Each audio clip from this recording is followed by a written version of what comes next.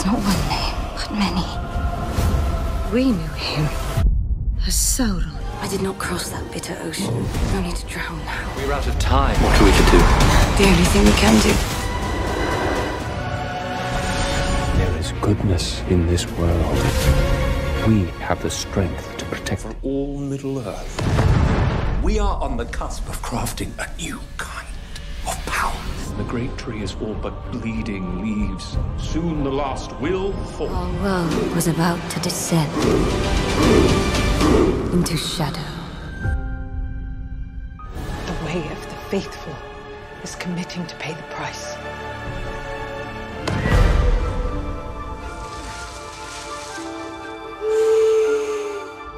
You will be known at last for who you truly are. For you, our Lord.